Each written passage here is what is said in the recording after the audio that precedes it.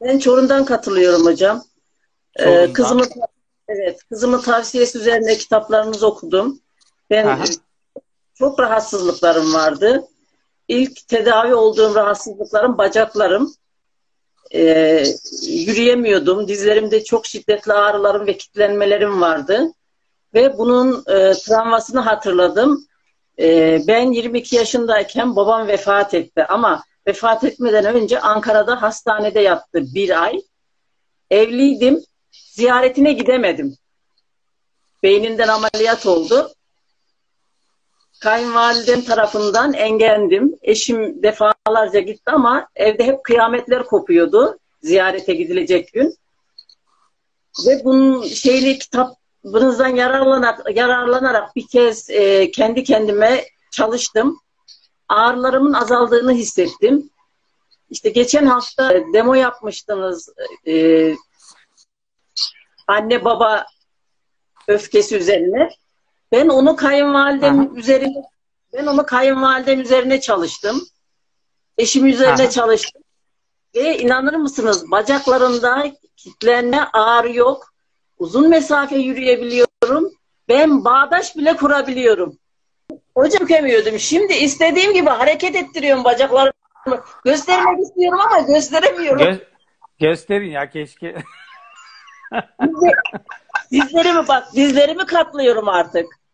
keşke görebilsek. Ya burada yani e, şeydi yani katlayan ha, Bak dizlerimi katlayabiliyorum, açabiliyorum, ha katlayabiliyorum, görebiliyorum.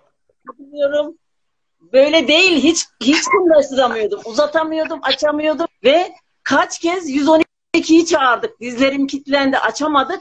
Öyle evde acısından baygınlık geçirdim ve çocuklarım 112'yi çağırdı, açtırdılar. Evimin en yakın marketini ne kadar diyeyim 50 metre 50 metre yürüyüp marketten gidip alışverişimi yapmakta zorlanıyordum. Ve şu anda yani resmen şey mi oldu? Bayağı açıldı normali mi döndünüz? yani? Hocam açıl ağrım yok ağrım yok hocam açıldı ağrım yok katlayabiliyorum bağdaş kurabiliyorum. gibi annem şöyle sürekli ağrısı var, hareket edemiyor, çok halsiz, yürüyemiyor. Yani iyi hissettiği zamanlarda da ayağından yürüyemiyor, bacağından. Hocam o bacağı kilitlenip kaç kere ambulans çağırdığımı ben hatırlamıyorum. Açamıyorduk bacağını ya, kilitleniyordu bacak. Menisküs anne, anneni oldu. gösterin de insanlar hatırlasınlar kim olduğunu. Yani menisküs ameliyatı Dizlerimi asla katlıyor. Katlamak değil. Ay. Yani hiç yapamıyordum. Ya dünkü yayındaki hanımefendinin kızı Şengül Hanım'ın kızı. Hadi siz, şey yapalım sizi görelim. Öyle bir yayın neden çıkıyorsunuz gibi oluyor.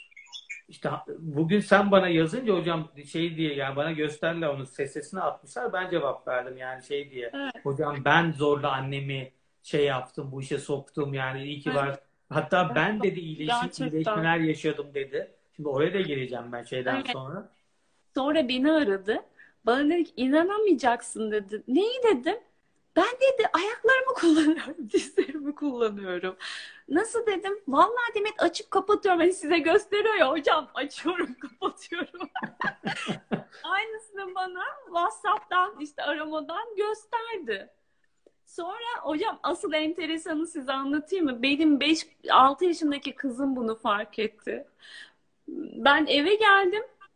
Anneannesiyle birlikte o gün birliktelerdi. Bana dedi ki anne inanamayacaksın. Anneannem benimle oynadı, oturdu, kalktı.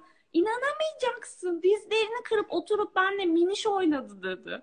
Düşünebiliyor musunuz? Benim kızım bunu fark etti. Bu arada Çünkü hanf hanımefendi mi de 56 yaşındayım dedi. 58 mi dedi? 56 mı dedi? Yani çok 56 yaşında ama hocam 80 yaşındaki bir insanın hayat standardı vardı. Kaplumbağa gibi. Yani markete ekmeğini almaya gidemiyordu.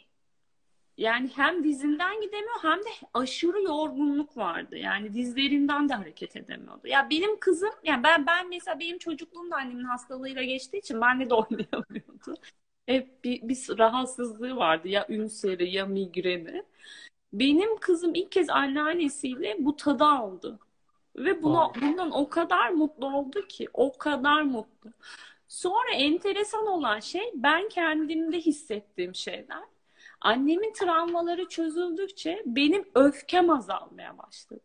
Ya ben çok agresif bir insandım hocam. Yani ben diyordum ki benim iş hayatım çok stresli ondan bilmem ne falan filan. Şimdi de birçok stresim var. Bana kızım diyor ki anne artık bağırmıyorsun farkında mısın diyor. Yani çok saçma şeylere kızıp bir anda öfkeleniyordum.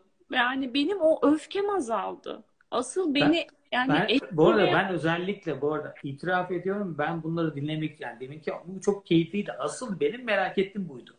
Yani Evet. şimdi şu anda bunu ben özellikle sevgili Demet Hanım'a bu yüzden yayına şey yaptım. Çünkü anne çocuk ilişkisinin çocuk tarafını bir dinleyelim e, diye düşündüm. Yani merak ettim nasıl oldu, nasıl bitti. Yani tekrar söylüyoruz aslında Şengül Hanım e, çalışınca kızında bir öfke e, azalması olduğunu anlayıp yazmış zaten. Çünkü hocam bana hamileliğim boyunca çok stresli bir dönem geçirmiş. Yani annemin hayatı hep zaten çok stresliymiş de yani kayınvalidesini kaybedene kadar. Ee, benim kesinlikle travmamın o gebelik dönemine ait olduğunu düşünüyorum. Yani doğum önce, benim doğum öncesi travmam vardı. Ve annem bunları çözdükçe ben rahatlıyorum hocam. Ee, çünkü ben yapıyorum yapıyorum benim öfkemde hiçbir azalma yok. Dedim ki hem tamam azalıyor evet fayda ediyor. Hiç etmiyor değil faydası oluyor. Ama hocam şey değil yani şu anki rahatlığımı hissetmedim hiçbir zaman. Ve Ya benim bak. arkadaşlarım da söylüyor şu anda. Demek sen değiştin farkında mısın diyorlar bana. Dinginleştin, daha sakinsin, daha relaksın. Çünkü ben insanları da zorluyordum. Yani mesela benim e, eşim de zorlanıyordu. Çocuğum zorlanıyordu.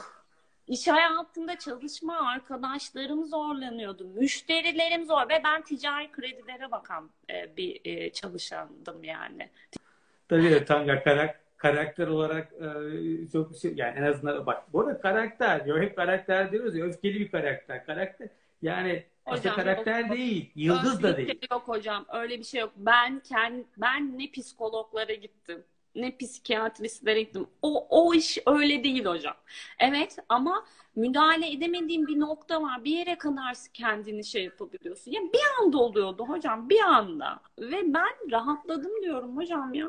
Rahatladım. Ya o kadar rahatladım ki. Ve çalışmayı bölebilirsin yani bir anda çünkü ne kadar sert çalışma yaparsan o kadar sert iyileşme olur. anladım. Biz bayağı olmuş. Ayağım bayağı saç girdi. Ondan hızlı bir iyileşme. Sancılı oldu ama hızlı da bir iyileşme oldu. Valla Barış Ya- iyi ki varsınız yani. Valla teşekkür ederim. Sizler de iyi ki varsınız. Şu, şu, İyi ki yani de şu sizle şey, karşılaşmışız. Yani iyi ki de bir, bir şeyler vesile olup karşımıza çıktınız. İyi ki de. Yani ne- ne- iyi- çok teşekkür ediyorum. Gerçekten inanılmaz mutlu oldum. Yani bir yandan da şu, şu anne çocuk ilişkisini bir de çocuktan detaylı dinlemek güzel oldu. Şu an kadar e, hep böyle annelerden çocuğum şöyle iyi oldu, böyle iyi oldu diye hep annelerden dinliyorduk. Bu sefer iyileşenden dinledik.